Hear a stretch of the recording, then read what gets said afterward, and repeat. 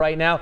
Have we turned the corner yet, Kevin? Uh, we have turned the corner, Mike. And you know what? It looks like eventually we're all going to be shedding layers over the next couple of days as temperatures continue to steadily climb through the end of the week. And yeah, we're going to call it a spring sprint here. Today, cool again. Highs only in the mid 40s. The clouds were a little stubborn at times, although the sun did peek out occasionally. But with more sunshine, increasing sun over the next couple of days, and a nice south wind, that means temperatures are really going to take off here. In fact, we're going to see them climb as we head right on into Friday when temperatures could make it all the way into the middle and upper 70s. So the outlook is calling for sunny and warmer weather. Yes, spring is in sight here over the next couple of days.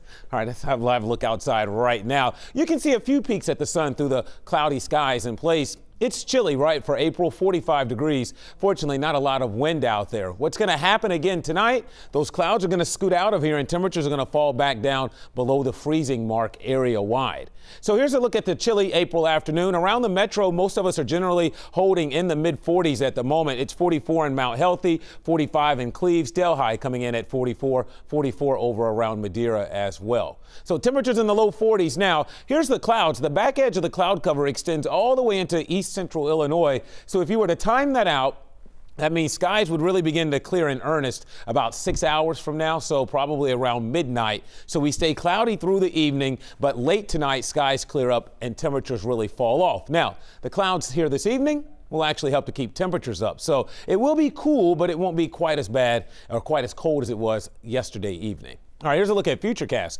You can see skies begin to clear as we approach midnight, and skies go mostly clear overnight. That will allow temperatures to uh, drop back close to around that 30 degree mark again.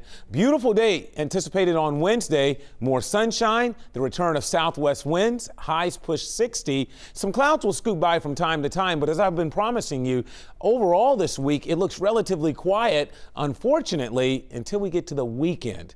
The weekend is not shaping up to be so nice. Let's talk about the forecast here this evening. Clearing skies late, that freeze warning is in effect. We'll drop down to around 31 uh, here in the city. And then for tomorrow, a mixture of sun and clouds, breezy and milder. We'll make it up to around 60 for your afternoon high. Here's a look at your seven day forecast. How about this? On Thursday, we're into the mid 70s, mid 70s again on Friday. And I'm not liking what I'm seeing for the weekend, Mike and Molly, at this point. It looks very wet. In fact, we could have quite a bit in the way of rainfall. And I know that's not good news because the Cardinals are coming into town and a lot of folks are considering getting tickets out there. So we'll have to keep an eye on the weekend forecast. But right now, it looks mild, but very wet. All right. So we celebrated too soon. That's the message right there.